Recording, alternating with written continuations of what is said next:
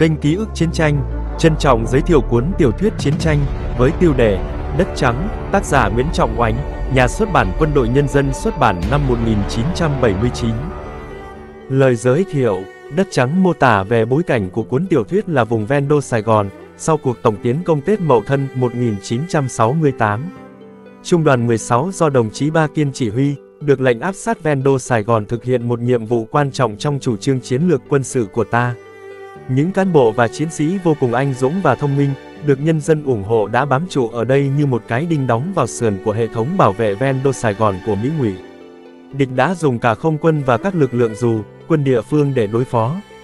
Trung đoàn này đã chịu một sự hy sinh, tổn thất rất lớn, chỉ còn lại khoảng 20 người, nhưng họ đã làm cho kẻ thù cây sợ. Trong lúc gian khổ, ác liệt thì phó chính ủy phân khu là Tám Hàn đã giao động chạy về hàng địch. Nhưng dưới sự chỉ huy trực tiếp của đồng chí Ba Tiên và các cán bộ khác, Trung đoàn 16 vẫn vững vàng trước mọi thử thách, đã anh dũng chiến đấu và nêu cao phẩm chất anh hùng. Sau đây mời quý vị và các bạn cùng nghe, tập 1, ngã 3, chương 1. Cái võng đung đưa, dừng lại, người khiêng thương trở vai. Hơi thở của anh ta phả vào mặt lâu, nằm ngửa mặt lên trời, lâu cũng biết quãng đường này là quãng đường nào. Họ vừa đi qua cái chùa sập, qua một con rạch, qua ruộng thuốc lá, và bây giờ đang đi trên quãng đường xình lầy. Cái võng nhấp nhô, nhún lên nhún xuống. Lâu thản nhiên nhìn những luồng đạn cầu vòng đỏ rực từ trên máy bay một trực thăng bắn xuống. Nó chặn đường rút của ta đấy. Các loại máy bay bật đèn xanh, đèn đỏ đầy trời. Những lớp khói mỏng của bom, của lửa, của đèn dù lơ lửng trên không. Từ trận địa ra, Lâu hoàn toàn mất hết cảm giác lo lắng, sợ hãi. Anh nằm bình yên trên cáng, phó mặc cho số phận, người ta sẽ đưa anh ra đến bến sông, đặt anh lên một cái xuồng, và đưa anh đi bất cứ nơi nào cũng vậy thôi. Anh yên tâm vì anh đã bị thương, nếu có một mảnh đạn trúng vào người anh bây giờ thì cũng chỉ là một vết thương như vết thương anh đã bị ở chân mà thôi. Phía sau, những ngày gian khổ ác liệt, những hình ảnh xáo trộn, mơ hồ. Trận đánh kéo dài hai ngày chưa chấm dứt, từ đêm N3, mở đầu đợt hai tổng công kích, cả trung đoàn, chỉ có một tiểu đoàn xuống kịp. Trinh sát tiểu đoàn hai lần ra đi bị phục kích, lần thứ ba, tiểu đoàn trưởng thực quyết định cho trinh sát đi trước và bộ đội theo sau, gặp địch là đánh. Lâu là người đầu tiên trông thấy những bóng mũ sắt lấp loáng ở bụi tre bờ ấp. Anh vừa kịp ngồi xuống thì súng nổ. Anh lăn đi một vòng và ném trái thủ pháo cầm sẵn trong tay vào chỗ phát ra tiếng nổ. Trận đánh diễn ra nhanh quá, cuối tiểu đoàn phải chuyển làn bắn sang bên kia đường, phía sau sở chỉ huy địch. Điệt xong cụm địch ở nhà máy xay, thì trời đã sáng, tiểu đoàn tổ chức phòng ngự, chờ đơn vị bạn. Suốt một ngày, đại đội lâu chịu 7 đợt phản kích. Những cây chuối trên miệng hầm cháy đen, tàn lửa phả vào mặt sát bỏng. Đến 5 giờ chiều, khi trận địa trở lại im lặng thì chiếc đầm già, điểm một phát hỏa mù ngay phía trước hầm lâu, tiếp đó, anh nghe tiếng phản lực rít, rồi bốn trái bom rơi xuống bốn góc. Cối hầm đội lên, tối sầm lại, tỉnh dậy, Lâu đá thấy mình nằm trên cáng. Tiểu đoàn, chín vẫn chưa xuống, thương binh chưa đưa ra hết, đại đội 2 hiện chỉ còn 7 tay súng. Xin trung đoàn cho ý kiến rút ra hay trụ lại. Lâu nghe tiểu đoàn trưởng thực đang nói với ý cậu liên lạc nào đó trước lúc ra đi. Anh tiếp đi, lại tỉnh lại. Cái võng lắc lư, tiếng súng khí gần khi xa, ánh pháo sáng nhòe đi lẫn với những quầng sáng chập chờn trước mắt. Người đi trước hững chân, cái võng trao đi, người đi sau lảo đảo, đưa hai tay ôm chặt đòn cáng, rít lên. Cái lão này, đường rộng không bữa bước xuống hố. Mù hay sao vậy, đi thì chậm gì, không mau mau ra khỏi chỗ này pháo nó ăn họng bây giờ. Người đi trước im lặng không nói gì, thở gấp, cổ ngoẹo sang một bên, má tí vào đòn cáng. Thương binh, ca, mấy đó, ca, hai đây, người đi trước trả lời. Anh chiến sĩ đứng ở ngã ba đường, người vừa mới nói câu đó, chỉ tay về bên trái. Chấm, các cậu có biết đường qua rạch bến cát không? Qua khỏi rạch, rẽ phải 500 mét có người đón.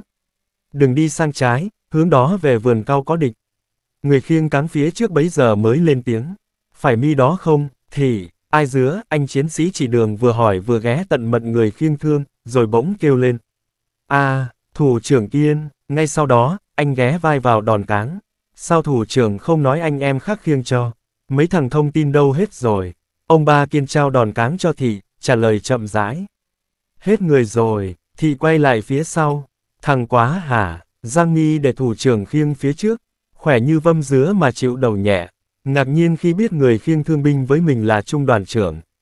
Quá hơi lúng túng một chút, nhưng rồi anh bình tĩnh lại ngay, trả lời liến thoáng. Nếu tôi mà biết là thủ trưởng thì tôi đã chẳng để. Ông ba kiên đưa tay áo quệt mồ hôi. Các cậu khiêng thương về gò sao, nói với đồng chí thân chủ nhiệm trinh sát, huy động tất cả anh em còn lại vào trận địa chuyển cho hết thương binh ra ngay trong đêm nay, cho trinh sát ra nắm địch ở hướng nhà bò, vườn cau đỏ để tối mai có thể đưa anh em đi. Rét quá, có thuốc cho mình một điếu. Cậu này ở đơn vị mô mà mình không biết. Báo cáo, đồng chí ấy mới bổ sung về trinh sát. Cậu có biết hút thuốc không? Báo cáo, có hạ. Chỉ còn một điếu thuốc, trung đoàn trưởng bụng tay che lửa hút một hơi dài rồi đưa cho quá. Qua ánh lửa, qua liếc nhìn ông già rất nhanh, ông đội cái mũ tai bèo sụp xuống, hai gò má nhô cao, bóng tối che mất đôi mắt. Ở sở chỉ huy, có lệnh tất cả đi khiêng thương. Khi cái cáng cuối cùng buộc xong, pháo bắn rát quá, quá đang chưa biết tìm ai thì bỗng có một người đi qua, anh liền nắm lay vai, gọi giật lại. Đồng chí nào đấy, khiêng một vai đi chứ, định đi không vậy mà về à. Người đó quay lại nhìn quá, nhìn cáng thương, im lặng một lát rồi ghé vai vào đòn cáng. Cậu ở ca mấy, quá hỏi. Ở trung đoàn bộ, người đó trả lời, thấy anh ta, lúc đó tối trời, quá không nhìn rõ mặt có vẻ ít nói và lúng túng, quá lên giọng đàn anh ngay. Cho sát đòn cáng vào, sao lại đi siêu vẹo vậy, lính cậu à?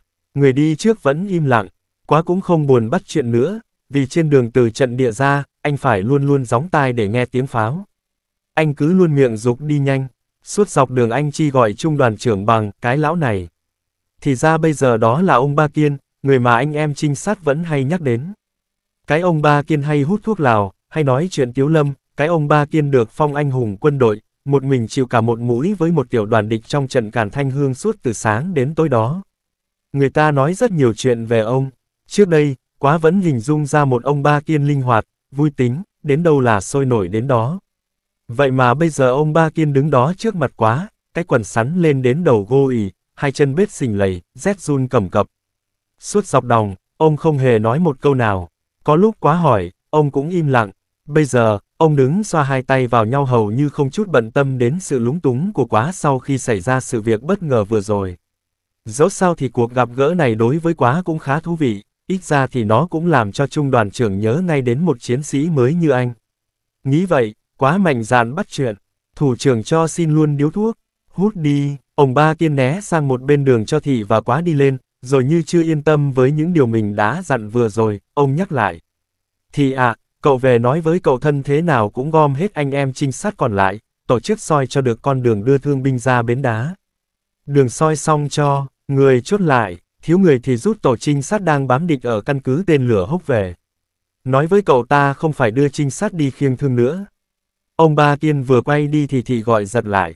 Thủ trưởng, cái gì vậy? Thủ trưởng chờ đây một chút, tôi về gọi liên lạc, đừng đi một mình. Thôi, không cần, ông ba kiên nói vậy và quay đi, mặc cho thị đứng trần trừ nhìn lại. Cách đây 5 năm, khi mới đặt chân về trung đoàn, thị đã được nghe bao nhiêu người kể về ông ba kiên. Thành tích nổi bật của ông trong cuộc kháng chiến chống Pháp thì hầu như cả trung đoàn này người nào cũng biết. Trong trận càn Thanh Hương, tên Xuân, tham mưu trương trung đoàn đầu hàng, trung đoàn trưởng hy sinh, trung đoàn trăm linh một, vừa chiến đấu vừa bảo vệ dân rút lên chiến khu trong vòng vây của 14 tiểu đoàn địch. Tiểu đoàn ông là tiểu đoàn chặn hậu và tổ ông là tổ chặn hậu cho cả tiểu đoàn. Trận đó, ông và tổ ba người đã đánh nhau với cả một tiểu đoàn địch suốt cả ngày cho đơn vị rút. Tuy vậy, đó vẫn là những điều thị được nghe kể lại, chứ anh chưa hề tiếp xúc và làm việc với ông. Mãi cho đến lần đi nghiên cứu vị trí Đắc Pét ở Tây Nguyên, thì mới hiểu về ông một cách thực sự. Lúc đó, ông Ba Kiên là trung đoàn phó, phụ trách tham mưu trưởng. Đường đi từ trung đoàn đến căn cứ Đắc Pét phải mất 10 ngày leo dốc. Đơn vị thiếu gạo, nhưng những người đi công tác như thị vẫn được ưu tiên mỗi ngày một lon. Chuyến đi kéo dài cả tháng, vì vậy, mỗi người phải mang trên lưng, ít nhất cũng đến 10 cân gạo, chưa kể ba lô, súng đạn. Ông ba kiên cùng đi với một công vụ, nhưng mọi thứ ông đều tự mang vác lấy đầy đủ như những anh em khác, chỉ thua một khẩu súng. Đồn Đắc Pét là đồn biệt kích, đóng trên một ngọn đồi cao, chung quanh có suối bao bọc.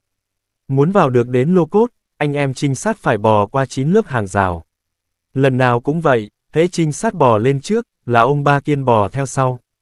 Có đêm, vào nửa chừng vướng mìn, chạm đây bật pháo sáng, súng từ trong lô cốt quét ra đỏ rực, anh em phải bò lùi trở ra. Nhưng ra lần này rồi, ông lại bắt bò vào lần khác. Cứ như thế, mãi cho đến lúc qua được hàng rào thứ 9, chính tay sờ được vào cái tường lô cốt, ông Ba Kiên mới đồng ý quay ra. Rào ấy, chiến trường Tây Nguyên thiếu muối. Đi nghiên cứu, mỗi người phải mang theo khẩu phần muối của mình trong một tháng và ăn rất rẻ rặt. Chỉ khi sới bát cơm lên, họ mới lấy vài hạt trộn vào. Họ phải bứt trái vả, trái sung độn vào với cơm để ăn cho đỡ nhạt. Vậy mà khi nghiên cứu chưa xong, thì hầu như mọi người đều hết muối. Ông ba kiên biết tính thị cẩn thận, bao giờ cũng để dành một ít dự trữ, liền sai cậu công vụ sang xin mấy hạt. Ngồi bên này suối, thị nghe ông nói, thỏ ơi thỏ, thỏ là tên cậu công vụ mi sang nói với thằng thị cho tao xin ít hạt muối, tao nuốt cơm không vô. Thằng thọ sang, thị nói, hết cả rồi, báo cáo anh ấy cho anh em về mấy ngày lấy muối sang ăn. Thằng thọ tưởng thật, trở về nói lại, ông ba kiên cười, thằng thị hẳn nói chơi, nghiên cứu chưa xong, về chi được mà về. Nói vậy, rồi ông lại ngồi và cơm nhạt ăn, thị trông thấy thương quá, lấy mấy hạt muối đưa cho cậu trinh sát mang sang. Ông gói vào trong giấy rồi lấy ra vài hạt bỏ vào bát cơm đảo lên, vừa ăn vừa khen ngon. Ít lâu sau thì trung đoàn đánh đắc pét, ông Ba Kiên đã dặn kỹ đại đội chủ công là phải nhớ mở cửa hàng rào về phía bên phải cái cây to, vì bên trái cái cây nhìn thẳng vào là lỗ châu mai. Thị trèo lên cây quan sát và sau khi ta phát hỏa một lúc thì thấy đê ta của ta đã bắn cháy đỏ rực khu trung tâm. Anh báo xuống cho ông Ba Kiên và ông cho lệnh đánh bộc phá. Nhưng chờ mãi đến 30 phút, vẫn chưa thấy mở được hàng rào. Pháo địch bắn nhiều quá, sở chi huy mất liên lạc không nắm được tình hình. Ông Ba Kiên nói, thị, mi lên với tao. Vừa nói xong, ông cầm lấy máy. Điện thoại chạy đi, đến nơi thị mới biết cửa mở bị mở chạch sang bên trái. Gần lô cốt đầu cầu, thì gặp thằng Châu, trung đội trưởng bộc phá, đang ngồi khóc trước hàng rào. Hỏi tại sao khóc, nó nói, trung đội tao chết hết rồi. Lúc đó, đài bác địch bắn dữ dội, trên hàng rào cứ mỗi đoạn lại một người chết. Thị Năm lấy tay Châu kéo vào lô cốt, định quay lại đón ông Ba Kiên, nhưng vào đến trong lô cốt thì đã thấy ông ngồi nắm ống nghe chỉ huy bộ đội đánh vào tung thâm. Lên đến gần sở chỉ huy thì ông bị thương, thì chạy sau không biết, đến lúc thấy ông nhảy xuống hầm, rút cuộn băng ra, thì anh mới vội vàng nhảy theo xuống. Ông tự băng lấy vết thương và nói, tao bị thương ở chân, nhưng vẫn đi được, lên đi, ông vẫn tiếp tục nhảy cò một chân, cầm ống nghe như. Vậy theo mãi vào trong khu trung tâm để chỉ huy bộ đội chiến đấu, ở phía sau, ban chỉ huy trung đoàn nghe tin ông bị thương, điện hai ba lần gọi ông ra. Lần thứ nhất, thì nói với ông là có điện gọi, ông bảo. Mày xuống điều cho tao một khẩu DK lên đặt trước cửa hầm này. Lúc đó ở một góc đồn, bọn địch cụm lại và chống cự quyết liệt. Sau khi khẩu DK được điều lên, thì nhắc lại điện gọi của trung đoàn, ông nói. Để tao chỉ huy đánh cho xong khu biệt kích đá. Ông chỉ mục tiêu cho DK bắn trực tiếp vào nhà quận trưởng, không nói gì đến chuyện điện gọi nữa. Đến lúc diệt xong ụ đề kháng cuối cùng thì chân của ông cũng sưng vù lên, ông ngồi tại chỗ, bảo thị kiếm cho ông một điếu thuốc, xong cho gọi đồng chí tiểu đoàn trưởng lên giao lai những công việc cần phải làm. Hút hết điếu thuốc, ông nói, bây giờ tao đi đây, đứa nào đi với tao nào? Thì nói, tôi đi với thủ trưởng được, nhưng cõng thủ trưởng thì nặng lắm. Theo chỉ thị của trung đoàn, tiểu đoàn đã tổ chức cáng để đưa thủ trưởng ra. Ông cười, bay nói đùa, tao mà lại đi cáng à mi cũng đừng lo đi với tao rồi phải cóng, tao bị thương lần này là lần thứ 100 rồi. Mi chạy đi kiếm cho tao một cái gậy, thì kiếm cho ông một cái cọc chuẩn, ông vừa chống gậy vừa tựa vào vai thị mà đi ra. Gặp những anh em bị thương đang nằm giải rác trên hàng rào ngoài cửa mở, ông nói. Ta thắng rồi đó, dáng lên, ai đi được thì cố mà đi về, để dành cáng cho thương binh nặng, và dành người mà còn thu chiến lợi phẩm, súng đạn của tụi nó đầy cả trong đồn mà không đưa ra kịp rồi pháo nó dập cháy hết. Đúng như lời ông Ba Kiên nói, chiều hôm đó, máy bay lên ném bom vào vị trí Đắc Pét. Lần đó, ta thu không biết cơ man nào là chiến lợi phẩm. Từ sau trận Đắc Pét trở đi, thì thường được đi theo ông Ba Kiên. Ông Ba Kiên có thói quen hay đi công tác với các chiến sĩ trinh sát, ngược lại các chiến sĩ trinh sát cũng rất thích được đi công tác với ông. Từ chỗ quý trọng, yêu mến thủ trưởng của mình, thì cũng như những anh em trinh sát khác, không ai bảo ai, nhưng người nào cũng có ý thức rất rõ trong việc bảo vệ thủ trưởng của mình. Vì vậy, việc quá đã để cho ông Ba Kiên khiêng đầu chốc cáng là một điều mà thị rất không bằng lòng, mặc dầu anh biết đó là một việc làm vô tình. Vì bận cáng thương trên vai, không quay lại đi theo ông Ba Kiên được, anh đành nhìn theo trung đoàn trưởng khuất vào bóng tối và cằn nhằn một mình. Cái ông già ni, khi mô cũng dứa, chờ cho chiếc cáng đi quá lên một đoạn, lâu mới lên tiếng. Thì à, cậu có nghe tin tức gì về tiểu đoàn 9 không? Không, chỉ nghe tin nó càn bên Bình Mỹ, ông Năm chuyện chết, ông Tư lệnh phân khu ấy mà. Vì sao chết, nó càn vào sở chỉ huy, trực thăng quang lựu đạn trúng hầm. Lại im lặng, cái võng đung đưa theo nhịp bước, họ đi ra khỏi khu vực pháo bắn. Sự căng thẳng của một đêm qua đi nhưng sự căng thẳng của những chuỗi ngày dai dẳng ác liệt lại ùa đến. Tin ông năm chuyện, tư lệnh phân khu chết không ai phổ biến, nhưng lan đi rất nhanh.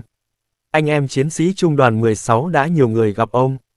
Sở, chỉ huy tiền phương của bộ tư lệnh phân khu đặt ở Bình Mỹ, cách khu vực hoạt động của trung đoàn 16 một con sông nhỏ.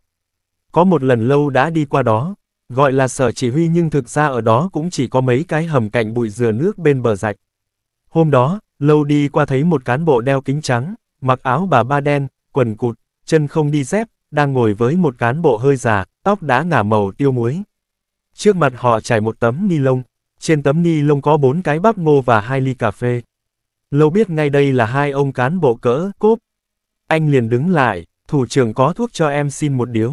Đồng chí cán bộ tóc hoa dâm rút bao, cáp tăng, đưa cho Lâu và hỏi. Cậu trung đoàn nào? Báo cáo, ở 16. Mấy hôm nay có gì ăn không? Lâu nhìn bắp ngô, cười. Báo cáo thủ trưởng, cả ngày hôm nay chỉ có nắm cơm bằng quả trứng gà. Cả hai người cán bộ nhìn nhau rồi cùng chỉ bốn cái bắp ngô đặt trên tấm ni lông chảy trước mặt. Cậu bờ vào bồng mang đi mà ăn. Ở đây tụi mình cũng ăn vậy cả thôi. Dáng chịu mấy bữa nữa, rồi mình móc gạo ăn no hơn. Lâu cảm ơn thủ trưởng, cầm bốn cái bắp ngô, rồi dập hai gót chân đầy sình vào nhau, giơ tay phải lên ngang vành mũ định chào xong thì quay đi. Bỗng người cán bộ đeo kính nắm tay anh, lôi lại. Ngồi xuống đây một chút đã. Cậu ở đơn vị làm gì? Ở bộ binh, đại đội 2, tiểu đoàn 7. Vừa rồi đơn vị đánh ở đâu? Bột ngọt, cậu xem liệu sức có thể đánh vào đó một lần nữa được không? Cái đó thì cấp trên biết chứ tôi làm sao biết được thủ trưởng. Tớ không nói cấp trên, tớ chỉ muốn biết phần các cậu thôi. Ví dụ như đánh lần nữa, cậu có sợ không? Cậu có tin không? Chất lượng bộ đội hiện nay của đơn vị, theo cậu, có bảo đảm hoàn thành được nhiệm vụ như vậy không?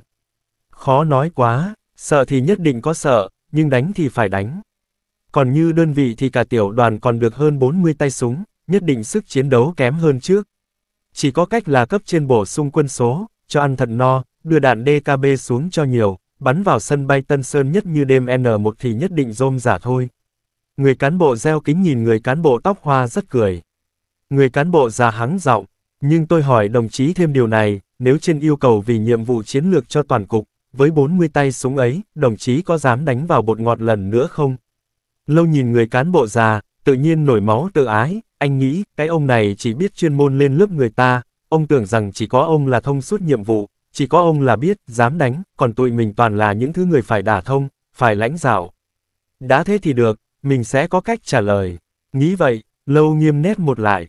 Nếu có yêu cầu như thố thì xin cấp trên cứ ra lệnh, chúng tôi sẽ chấp hành cho đến người cuối cùng. Còn như thủ trường mà hỏi tôi đánh vào Sài Gòn được không, thì theo tôi, 37-21 ngày, chúng ta nhất định sẽ bơi sông rạch cha trở về, chứ không có cách nào khác. Người cán bộ đeo kính cười, người cán bộ tóc hoa dâm lại hỏi, mình không hỏi ý kiến cậu là ta đánh vào Sài Gòn có được không, mà mình muốn hỏi là nếu vì một nhiệm vụ chiến lược, đầu ít người, chúng ta vẫn phải đánh thì cậu nghĩ thế nào? Lâu bực mình vì câu hỏi vặn đi vặn lại ấy, anh đã toan nói một câu thật chốt chúa, nhưng ghim lại được. Thì tôi đã trả trả lời thủ trưởng rồi đó sao, thủ trưởng còn bảo nghĩ thế nào nữa? Khi tôi sung phong tòng quân, tôi làm đơn tự nguyện đi chiến trường rồi. Nếu cần thì thủ trưởng cứ ra lệnh, lâu tưởng là anh sẽ còn bị lên lớp một trận nữa, nhưng đồng chí cán bộ già không hỏi gì thêm mà lại đưa cả bao, cáp tăng, còn lại cho lâu. Anh không từ chối, nghĩ các ông này chẳng thiếu gì thuốc. Anh cầm bốn cối bắp ngô và bao thuốc đứng dậy, bỗng bắt gặp đôi mắt sắc và lạnh của. Một chiến sĩ gầy đen đang ngồi nấu nước bên cạnh hầm. Cái thằng, cha này chắc là công vụ thủ trưởng đây, hắn thấy mình cầm bốn cái bắp chắc là tức lắm. Lâu bỗng này ra ý nghĩ muốn chiêu tức cậu ta, liền đến bên cạnh ghé tai nói nhỏ, này, bốn cái bắp thủ trưởng cho mình đấy. Cậu phục vụ thủ trưởng, vậy sáng nay có gì ăn chưa? Nếu chưa thì cầm lấy một cái. Người chiến sĩ quát mắt, thôi, cút đi, chỉ cà khịa. Cậu tưởng người ta chia cho các thủ trưởng nhiều bắp lắm à? Thì ít ra cũng nhiều hơn khẩu phần bọn tớ. Lâu đi rồi, anh chiến sĩ vẫn hầm hực nhìn theo. Sau này lâu mới biết người cán bộ đeo kính trắng là ông Năm Chuyện, tư lệnh phân khu, và người cán bộ già là Tám Hàn, phó chính ủy. Còn cậu thanh niên đen gầy, có đôi mắt sáng đó là An, chiến sĩ bảo vệ của phó chính ủy. Người ta đồn ông Năm Chuyện là một cán bộ rất sông sáo, trước đây ông là sư trưởng của sư đoàn 9, từng tham gia chỉ huy những trận đánh có tiếng vang như trận Bình Giá, Đồng Xoài. Nhiều cán bộ của trung đoàn 16 cũng ca ngợi tác phong sông sáo, và sâu sát của ông, vì trước đây họ đã từng có dịp phối hợp tác chiến sư đoàn này. Tin ông Năm Chuyện hy sinh làm cho nhiều cán bộ và chiến sĩ lo lắng. Mới hôm nào người ta vẫn thấy ông một tay sách dép, một tay chống gậy, đến đâu cũng cười nói thật thoải mái, cặp mắt hấp háy sau cặp kính cận. Dáng lên, dáng lên ít nữa có quân bổ sung ta lại làm một quán nữa. Hoặc là tôi nó không dễ gì đánh bật mình ra khỏi cái ven đô này được đâu. Các đồng chí yên trí, các đồng chí đi đâu, phân khu sẽ đi theo đến đó. Vậy mà, đã một tuần nay phân khu không liên lạc được với trung đoàn, tin ông Năm chuyện chết chuyển đi như một luồng gió lạnh. Nếu bình thường ra, việc một đồng chí tư lệnh hy sinh không phải là một việc gì quan trọng ghê gớm lắm. Nhưng việc đó xảy đến giữa lúc mà các đơn vị phân khu đang chịu đựng một cuộc phản kích ác liệt trên địa bàn, nằm lọt giữa vòng vây của địch, thì lại hóa ra một việc vô cùng rắc rối, gây khó khăn cho lãnh đạo. Lâu hỏi thì, nghe nói trung đoàn quyết thắng rút về bưng còng rồi phải không? Mình bây giờ cũng chẳng biết đơn vị nào ở đâu nữa, chỉ biết đơn vị mình vẫn có lệnh bám trụ ở đây. Chủ lực của phân khu bây giờ thành chủ lực chống cản rồi. Rốt cục trung đoàn mình thì khi nào cũng đảm đương nhiệm vụ khó khăn nhất. Hồi ở khu 6 cũng vậy, hồi 9 năm cũng vậy. Nhưng mà tao chắc hồi 9 năm ở chiến khu Dương Hòa và chống cản ở địch hậu Bình Trị Thiên cũng không gai gâu như bây giờ. Cái hồi mà ông thêm còn làm liên lạc, đội ca lô lệch, huyết sáo chạy trước con chó ấy, kể chi.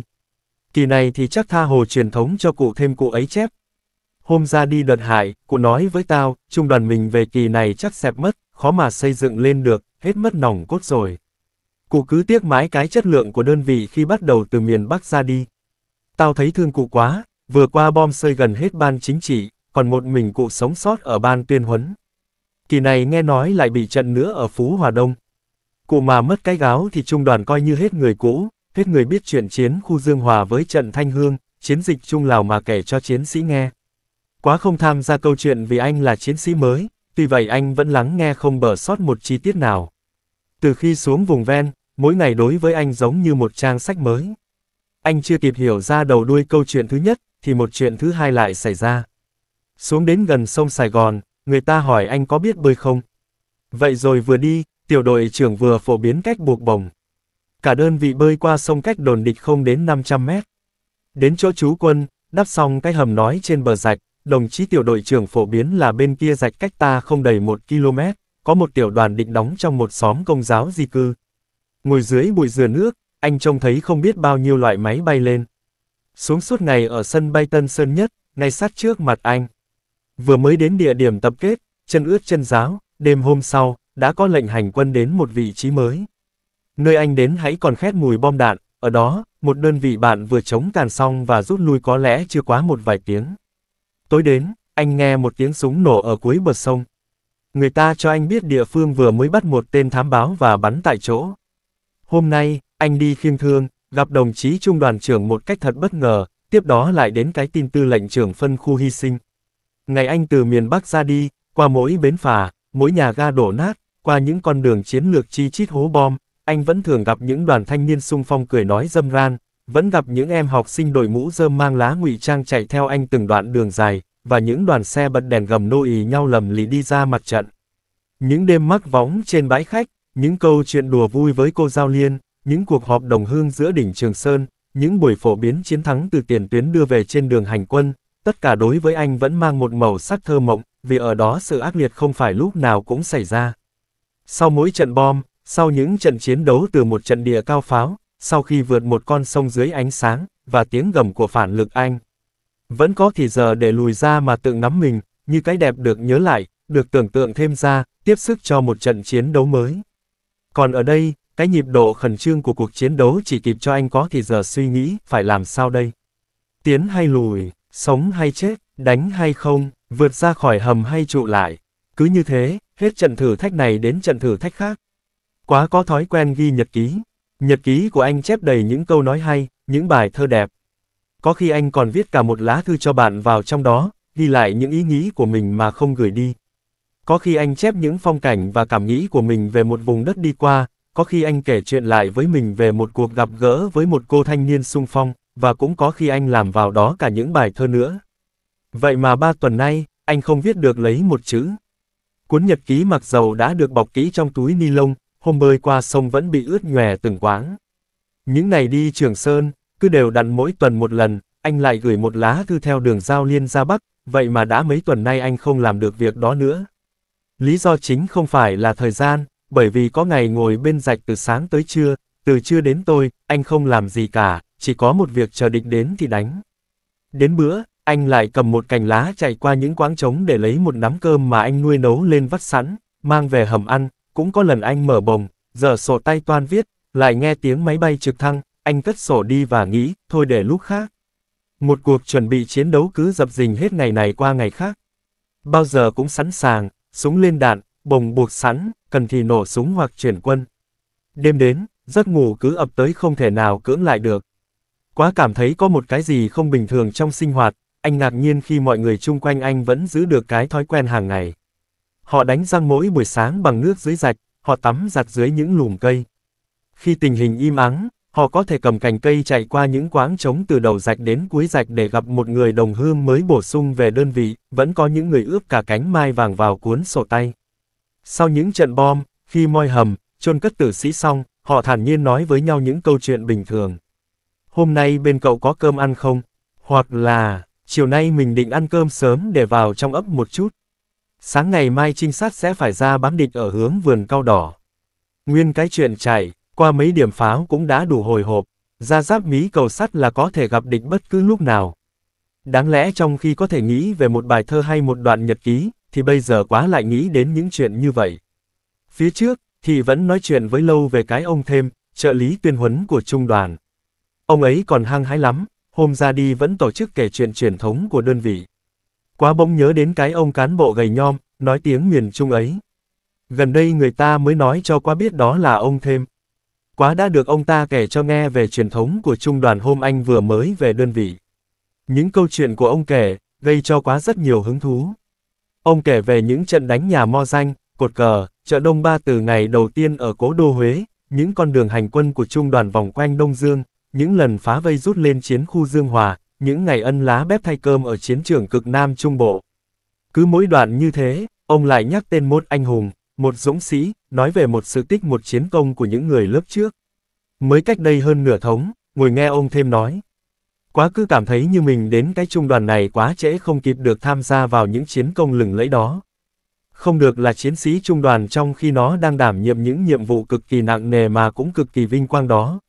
Nhưng cho đến bây giờ, chính anh đang được cùng với trung đoàn chịu đựng một cuộc thử thách thật ác liệt, thì anh lại không cảm thấy điều đó. Đi đâu quá cũng nghe người ta nói trung đoàn mất sức chiến đấu cái giai đoạn là mũi nhọn phía Bắc Sài Gòn đã qua rồi. Bây giờ chỉ có chống càn, chạy gạo, tải thương. Ngay cả cái ông thêm mà thị đang nhắc đến đó bây giờ cũng đang lo trung đoàn khó mà có thể hoàn thành nhiệm vụ một cách xuất sắc. Chiếc võng trao nghiêng, thị đang đi bỗng dừng lại, khoát tay ra hiệu cho quá ngồi xuống, vừa lúc đó có tiếng quát. Ai, im lặng một lúc, sau đó có tiếng nói nhỏ. Các đồng chí cáng thương. Tiếp theo là tiếng hỏi gióng giạc. Phải 16 không, ai mà hỏi 16? A2 đây, A2 là ký hiệu của tiền phương phân khu. Thị chưa chịu đứng lên, thì từ trong bóng tối một chiến sĩ đã bước ra. Có phải e bộ ở đây không, đồng chí? Thấy thì vẫn còn có vẻ ngần ngừ, anh ta ghé tai nói nhỏ. Tôi đưa thủ trưởng vượt sông qua đây, suốt hai ngày nay nó càn bên Bình Mỹ. Đồng chí chỉ dùm tôi vào ban chỉ huy trung đoàn, anh tám ảnh đến làm việc. Phía sau, một người mặc quần áo bà ba bước tới. Thị nhận ngay ra đó là đồng chí Tám Hàn, phó chính ủy phân khu. Thương binh còn nhiều không, đồng chí? Báo cáo thủ trưởng còn nhiều, ở ngoài trận địa chưa đưa về hết. Anh ba hiện nay ở dâu. Dạ, ngoài sở chỉ huy ạ. À. Phó chính ủy nhìn những cái kim lân tinh trên đồng hồ đeo tay, ngẫm nghĩ một lát rồi nói với người chiến sĩ cùng đi. Mình theo các đồng chí đây về chỗ trung đoàn bộ, có gì mai ta tính sau. Thị và quá tiếp tục khiêng thương đi trước, đồng chí cán bộ và chiến sĩ mang AK theo sau. Chiến sĩ đi theo phó chính ủy phân khu chính là An, vệ sĩ của ông. Thương binh của trung đoàn dồn cả về gò sao, ở đây còn cả một bộ phận của công binh, trinh sát, và toàn bộ tiểu đoàn 7. Khu vực đóng quân là một vườn cây ăn quả lâu năm, Phía tây, sau lưng họ là một con rạch lớn, qua con rạch đó là bưng, kế đến là một cái ấp lớn nằm dọc theo con đường nhựa mà bên kia là nhà máy xay, nơi đang xảy ra chiến sự. Trước mặt họ, qua một con rạch nhỏ là đường quốc lộ 13 chạy dọc theo sông Sài Gòn ở hướng đông. Bên kia sông Sài Gòn là thị xã Bình Dương, phía bắc gò sao là một cánh đồng lầy, qua cánh đồng lầy là vườn cao đỏ, đến vườn măng cụt, nơi tập kết đầu tiên của trung đoàn khi xuống ở khu vực này. Đó cũng là con đường mà trung đoàn vẫn tổ chức đưa thương binh ra bò sông Sài Gòn để chuyển anh em về phía sau. Phía đó, mấy, hôm nay, Mỹ đang đổ quân càn. Phía nam gò sao, qua một con rạch nhỏ, một cánh đồng lầy, là một làng giáo di cư mới lập lên từ thỏi ngô đình diệm, ở bốn phía của gò sao, nơi nào cũng có địch. Trong đợt 1, tiểu đoàn 7 đã về bám trụ ở đây hơn 2 tuần lễ. Hầu như ngày nào đơn vị cũng phải tổ chức đánh càn. Có lần, sau khi đánh xong, họ phải bơi qua rạch, ém quân bên bưng voi nhỏ một vài ngày rồi lại quay trở về, cũng có lần, đánh xong họ vòng lên phía bắc, qua vườn măng cụt, vượt đường 13, rút tạm về sát bờ sông Sài Gòn. Để đứng chân được ở đây, thường xuyên trung đoàn phải giải trinh sát bám địch ổ mấy địa điểm có thể cơ động được. Họ đánh xong chỗ này, lại rút sang chỗ kia, cứ như thế xoay đèn cù với địch trên một địa bàn hẹp bằng cái bàn tay này, nói theo cách nói của anh em 16. Nơi mà tiểu đoàn lui tới nhiều nhất vẫn là Gò Sao. Đó là một khu vườn vuông, mỗi chiều không đầy một km rưỡi. Những con rạch nhỏ chạy ngang dọc, chia khu vườn ra từng ô vuông như bàn cờ, ở đây người ta trồng đủ các loại cây, dừa, cam, ổi, dâu da, mận hồng đào. Người chủ vườn là một ông già 60 tuổi, lúc đầu còn lui tới bứt dừa, chặt mía cho bộ đội. Sau đó, vì bom đạn nhiều quá, ông khoán trắng cho tiểu đoàn khu vườn này, cho bộ đội tự do muốn làm gì thì làm, bứt trái, chặt cây, đào hầm tùy ý, miễn sao như ông nói, dùng cái vườn của ông để đánh được giặc. Họ đào hầm chiến đấu ở dưới những gốc dâu, gốc dừa, men theo các bò rạch, các ụ chiến đấu ở ngoài cánh đồng dưới lùm cây hoặc bên bãi mía để có thể đánh địch từ xa. Trong lúc chiến đấu, men theo bờ cây hoặc lòng rạch, họ đi chuyển từ khu vực này qua khu vực khác, từ trong vườn ra ngoài cánh đồng và từ cánh đồng vào trong vườn. Sau khi đánh xong, tùy theo hướng địch, họ có thể lội qua những con rạch rút về bương voi nhỏ hay khu vực vườn cao theo ý định của họ. Giữa cái giải đất hẹp xình lầy này, thì khu vực gò sao vẫn là khu vực giấu quân tốt nhất. Đầu vậy, họ biết không chóng thì chảy, nhất định chúng nó sẽ tập trung đánh lớn ở đây. Sau trận đánh ở nhà máy xay, sau khi dịch đổ quân càn quét ở phía bắc, tiểu đoàn 7 phải rút về đây là một điều cùng bất đắc dĩ. Hầu như đêm nay không có người nào ngủ. Họ đắp lại hầm, chặt cành cây tre thật kín.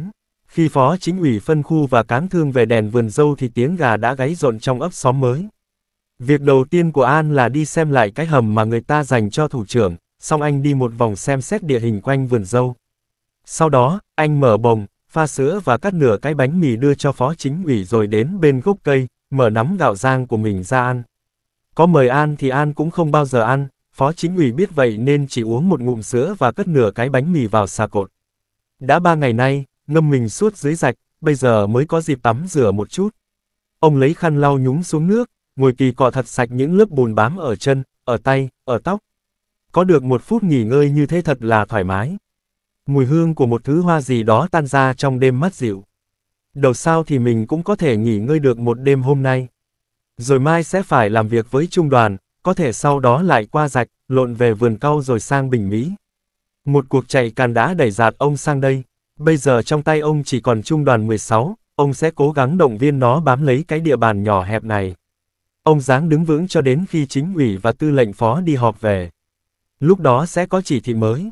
Có thể ông sẽ về phía sau, hoặc ít ra thì cũng có quân số bổ sung. Ông cảm thấy sự có mặt của ông lúc này, ở đây chỉ có một ý nghĩa, làm cho bộ đội vững tâm. Phó chính ủy nghĩ vậy và chuẩn bị cuộc nói chuyện mà ông đã dự định từ khi vượt qua vườn cao đỏ. Băng cánh đồng xình lầy, nhòm thấy trước mặt khu vực gò sao. Chắc chắn người ta sẽ hỏi ông về tình hình chung của chiến dịch, về việc có đánh vào. Sài Gòn nữa không và về nhiệm vụ sắp tới của đơn vị, người ta sẽ đặt ra cái vấn đề đã được nhắc đi nhắc lại nhiều lần trong các cuộc họp, nếu muốn đánh nữa thì phải bổ sung quân, phải có chi viện và sự phối hợp của đơn vị bạn. Đánh mà không có củng cố, không có bổ sung thì chất lượng sẽ yếu đi. Điều này là điều chính ông cũng đang băn khoăn. Vào bộ đội gần 25 năm, chưa lần nào ông thấy khó khăn như bây giờ, cũng chưa bao giờ ông thấy lòng tin của mình bị dao động như vậy. Trong các cuộc họp, ông vẫn giải thích, vẫn động viên, nhưng cứ mỗi đêm, ngồi trước tấm bản đồ vùng ven, ông cảm thấy lòng mình rối bời như những đường ngang nét dọc chẳng chịt trên đó vậy. Cái lệnh cuối cùng mà ông nhận được từ Bộ Tư lệnh miền là, Trung đoàn 16 giữ vững địa bàn sẵn sàng chờ lệnh mới. Đài 15W không hoạt động được nữa. Liên lạc với phía sau bị cắt đứt. Chính ủy đi họp chưa về. Cứ riêng ông nghĩ thì ta không đủ khả năng đánh vào Sài Gòn được nữa. Ta cần phải bảo vệ lực lượng để đánh lâu dài, ở đây lâu nhất định sẽ bị tiêu diệt. Nhưng ông cũng hiểu mặt nữa, có thể đây là một nhiệm vụ chiến lược nào đó mà cấp trên chưa nói hoặc chưa có thể nói rõ. Như thế sẽ có sự hy sinh cục bộ. Điều đó rất có thể xảy ra. Phó chính ủy Hàn là một cán bộ xưa nay vẫn có tiếng thận trọng, chắc chắn. Tập kết ra Bắc năm 1954 thì, đến năm 60, ông trở lại chiến trường. Năm 65, ông là phái viên của Cục Chính trị miền, được cử xuống công tác ở vùng phân khu 1. Sau một thời gian, ông được cử làm chủ nhiệm chính trị phân khu.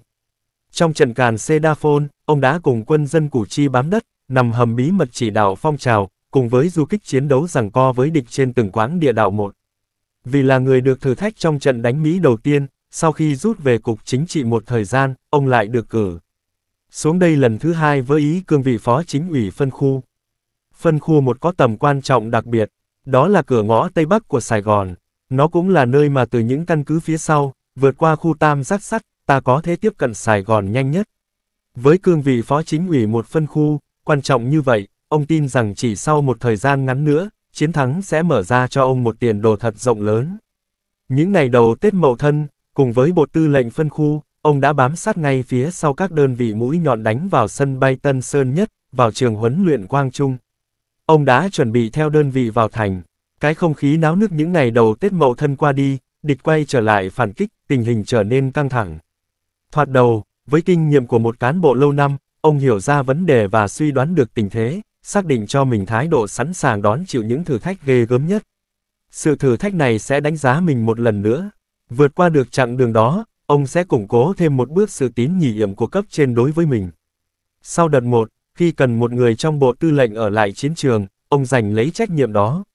Nhưng ngay sau cái đêm họp bộ tư lệnh tiền phương, chính ủy vừa ra đi, tư lệnh trường đang ở lại thu xếp một số việc, thì địch càn vào sở chỉ huy. Ông vượt được ra khỏi vòng càn, còn tư lệnh trưởng thì hy sinh ngay tại chỗ. Tiếp sau đó là những ngày đứt liên lạc với đơn vị. Một số cán bộ ở sở chỉ huy tiền phương chạy thất tán, ông vượt qua sông tìm trung đoàn 16 vừa để nắm tình hình vừa để chỉ đạo sự hoạt động của trung đoàn.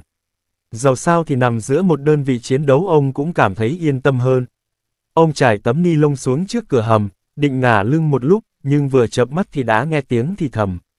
Để thủ trưởng ngủ, biết An đang nói chuyện với một người nào đó định đến tìm mình, phó chính ủy tràng thức dậy. Sao anh lại xuống đây, địch nó chuẩn bị càn khu vực này mà.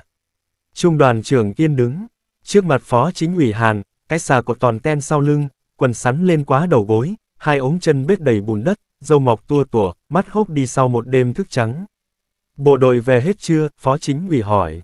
Trung đội mũi nhọn không ra được, số anh em còn lại và thương binh đã rút ra, họ đang trên đường về. Tôi có thể xuống chỗ anh em thương binh một chút, bây giờ được không? Rõ ràng bây giờ là lúc trung đoàn không cần sự có mặt của phó chính ủy. Họ đã nhận lệnh đánh, và bây giờ họ đang đánh. Một con mắt ông ba kiên nheo lại nhìn phó chính ủy. Có lẽ ông đã đoán biết phó chính ủy định nói gì với ông. Điều đó không cần thiết, con mắt nói như vậy. Phó chính ủy muốn ở lại, tất nhiên trung đoàn phải thu xếp. Tám Hàn nghĩ vậy và có vẻ lưỡng lự. Ông cũng hiểu rằng thêm một đồng chí tư lệnh vào giữa vòng càn cho trung đoàn lúc này gây khó khăn không ít. Nhưng ông ra đi giữa lúc này thì có nên không?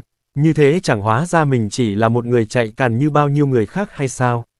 Nếu ông ra đi, thì lời đề nghị của trung đoàn trưởng sẽ hóa thành một mệnh lệnh mà ông phải phục từng. Đi hay ở cùng là nhiệm vụ, đi hay ở cùng đều nguy hiểm cả, nhưng đầu sao ra khỏi vòng càn trước mắt vẫn đúng hơn. Trung đoàn trưởng lại dục, đồng chí An đưa anh Tám đi ngay đi, nếu tình hình bên Bình Mỹ đỡ căng, tôi sẽ cho trinh sát báo tin và dẫn anh qua sông luôn. An biết nhà má hai ở voi nhỏ chứ, bây giờ cậu cứ đưa anh Tám về đó, tôi thu xếp đưa thương binh đi xong, tôi sẽ về đó báo cáo tình hình với anh, như thế được không, anh Tám? Phó chính ủy phân khu xuống một đơn vị, ngả lưng nằm một chút, chưa làm được gì đã lại ra đi sao?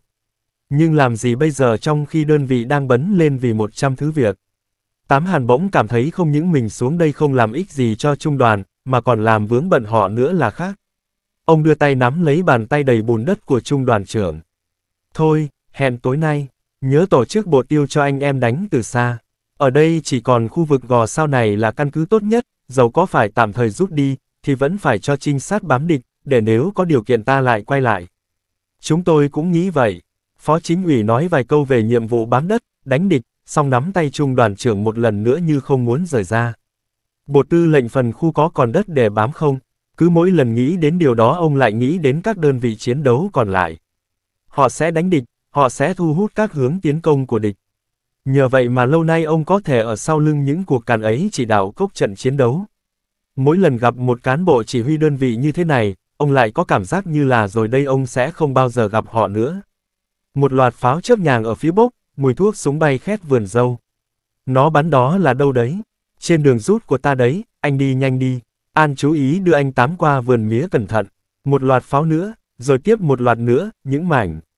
Pháo chém xuống cành cây san sát. Tiếng trung đoàn trưởng thét lên. Đi đi, An dẫn thủ trưởng đi đi. Ngày hôm đó qua đi không như dự kiến của trung đoàn. Sau đợt pháo cấp tập buổi sáng, khu vực vườn dâu bỗng trở lại yên tĩnh. Bộ đội bám công sự chiến đấu được lệnh thay nhau về nghỉ. Khoảng 10 giờ, một chiếc đầm già bay trên đầu gọi loa. Alo, alo, anh em cán binh Việt Cộng chú ý, anh em cán binh Việt Cộng chú ý. Trung đoàn 101 đã bị bao vây, sớm muộn các bạn sẽ bị tiêu diệt. Các bạn hãy mau mau tỉnh ngộ. 12 giờ trưa, trinh sát tiểu đoàn đi bám địch về cho biết, chúng nó vừa mới đổ một tiểu đoàn xuống ba thôn, hướng đông nam gò sao, cách bộ tiêu tiểu đoàn ở hướng này không đầy 800 mét. 12 giờ 30, cánh trinh sát thứ hai về báo tin. Hai tiểu đoàn dù được đổ xuống nhà máy bột ngọt sáng nay, đang tiến về phía bương voi lớn, sau lưng đơn vị. Cùng lúc, cánh trinh, sát thứ ba, bám địch ở hướng bốc, cũng về cho biết, từ vườn cau đỏ qua nhà bò sang đến vườn măng cụt, chỗ nào cũng có lính Mỹ. Hiện đang có một tiểu càn từ hướng vòn măng cụt, theo hướng 13 đi xuống. Ông Ba Kiên sau khi tiến đưa phó chính ủy phân khu xong, đi kiểm tra trận địa một vòng quay trở về, vừa chợp mắt một chút thì được gọi dậy nghe tình hình. Tiểu đoàn 7 còn 30 tay súng. Vì phải đánh địch từ xa, tiểu đoàn trưởng thực đã bố trí 5 bộ tiêu ở 5 hướng. Quân xô còn lại là 20. Xô, 20 người đó vừa phải bảo vệ thương binh vừa phải chia ra ba hướng đánh địch sau khi các bộ tiêu rút về hoặc bị chọc thủng. Trong khi tiểu đoàn trưởng thực mở bản đồ, báo cáo lại kế hoạch tác chiến, ông Ba Kiên lơ đáng bứt lá cây, quấn tròn, về thuốc lào hút một hơi dài và nhả khói lên trời. Những lớp bùn trên da chân ông bây giờ đã khô lại. Ông cúi xuống bóp ra từng màng vứt đầy trước chỗ ngồi. Bỗng tự nhiên ông ngẩng đầu lên, ngắt lời thực. Mấy giờ rồi, 12 giờ rưỡi, theo tôi, bây giờ nó không càn nữa đâu, nhưng ngày mai thì nó sẽ càn lớn và có thể càn dài ngày. Nếu với lực lượng cứ cho là bốn tiểu đoàn đi, tập trung càn vào đây thì liệu tiểu đoàn bảy trụ được mấy ngày. Cả ban chỉ huy tiểu đoàn nhìn nhau im lặng, một câu hỏi rất khó trả lời. Từ sáng đến giờ họ chỉ lo việc bố trí công sự, điều chỉnh các bộ tiêu để đánh địch. Mệnh lệnh của trên là đánh địch, họ chỉ biết chấp hành. Câu hỏi của ông Ba Tiên bỗng gợi lại cho họ một ý nghĩ mà họ tưởng như quên đi, liệu họ sẽ còn ở lại đây được bao nhiêu lâu nữa với 30 tay súng, đạn được không còn bao nhiêu, và ai sẽ là người cuối cùng còn lại trong số những người có mặt hôm nay. Trong khi tất cả đang ngồi im lặng như vậy thì liên lạc tiểu đoàn chặt hai trái dừa, đổ nước ra bốn bát sắt đưa đến đặt trước mặt trung đoàn trưởng và ban chỉ huy tiểu đoàn. Chính trị viên phó tiểu đoàn, một người có vóc người cao lớn, ngồi đối ỉ điện với ông Ba Kiên, xoa hai tay vào nhau cười tủm tỉm. Báo cáo anh, tôi cho anh em lấy dừa lần này nữa là lần cuối cùng. Đêm qua họ đi về mệt quá. Ông Ba Kiên liếc nhìn sang những đống vở dừa vứt dày dưới gốc dâu, ông biết rõ đây không phải là lần cuối cùng như chính trị viên phó thận vừa nói. Họ sẽ còn chặt dừa nữa, sẽ còn uống nước dừa nữa cho đến khi nào dơn vị bỏ cái khu vực gò sao này ra đi mới thôi. Trước đây trung đoàn cấm không được một ai bứt dừa, bứt cam tự tiện trong vùng đóng quân. Khi bộ đội mới xuống, dân bò chạy hết, nhiều nhà để cả gà lợn trong chuồng. Kỷ luật dân vận phải thật nghiêm, tình hình không thể nào khác vì dân ở đây là dân vùng tạm chiếm, chưa hiểu biết và tiếp xúc với cách mạng bao nhiêu. Mệnh lệnh đó lúc đầu được chấp hành rất tốt, những nơi bộ đội đóng quân, không những vườn tược cây cối không bị tơ hào mất mát, mà gà lợn trong chuồng còn được anh em chiến sĩ cho ăn, nhà cửa được anh em dọn dẹp xả sẽ. Nhưng gần đây cái kỷ luật đó không giữ được nữa, một phần nhân dân ở đây không muốn bộ đội phải chịu đựng khổ cực như vậy. Họ gặp các ban chỉ huy yêu cầu để cho bộ đội tự do chặt mía, bứt cam bứt dừa trong vườn họ. Mặt khác, gần đây bộ đội thiếu gạo, khẩu phần hàng ngày của mỗi người chỉ được một nắm cơm. Họ phải bứt mận, chặt cây chuối để lót thêm vào các bữa ăn. Ban chỉ huy trung đoàn biết rõ kỷ luật dân vận đang bị vi phạm, nhưng chưa biết giải quyết sao cho thỏa đáng. Ông Ba Kiên nhìn những khuôn mặt hốc hốc chung quanh, không ai bưng bát uống cả. Họ hiểu đây là một việc làm sai, mà lại làm sai ngay trước mặt thủ trưởng trung đoàn. Chính trị viên phó thận dịch cái bát sắt về phía ông, Ba Kiên. Mời anh uống đi, đã chót chặt ra rồi, chúng tôi sẽ tìm cách giải quyết với dân sau. Ông Ba Kiên bưng bát đưa cho một người ngồi cạnh. Thôi, các đồng chí uống đi. Mọi người đều nâng bát. Khi tất cả đã uống xong, ông Ba Kiên chỉ đống và dựa ở dưới gốc cây, nhìn thận. Ông thận ạ, ông láo cá lắm. Tôi đi rồi, ông còn cho chặt dừa nữa chứ chẳng phải một lần này là thôi như ông nói đâu. Tất cả mọi người cười phá lên, nhưng rồi lại im lặng ngay vì ông Ba Kiên vẫn tiếp tục nói, giọng trầm đi. Trung đoàn rất thông cảm với anh em, nhưng kỷ luật đã đề ra thì không thể phá đi được. Bọn tôi không hủy bỏ cái mệnh lệnh trước đây, bây giờ đã chót lấy dừa xuống rồi, thì uống đi. Nhưng sau đây các đồng chí phải gặp dân giải quyết chuyện này cho sòng phẳng. Các đồng chí ăn dừa nhưng không được phá vườn dân như thế này. Phải thật nghiêm về chuyện này. Ông Ba Kiên vừa nói vừa nhìn những quả dừa non bị rứt theo với những quả dừa già vứt bừa bãi ở các gốc cây. Trong khi thần thu góp đống vở dừa trước mặt thì ông Ba Kiên đã bỏ cái ý nghĩ về trái dừa và nhìn sang những cây dâu da chĩu quả, mượt dâu da sắp chín. Dọc theo bờ rãnh, cách quán lại có một cây mận hồng đào, rồi một cây điều lộn hột. Vườn cây đủ loại trái, lê kima, ma, sầu riêng, mạn cầu xiêm, cam, chanh. Có một cái gì đó làm ông Ba Kiên bứt rứt, những người dân ra đi đã giao lại một cái gì đó còn lớn hơn cả những vườn cây ăn quả này. Đó là lòng tin của họ. Cảm ơn quý vị và các bạn đã quan tâm theo dõi, xin kính chào và hẹn gặp lại.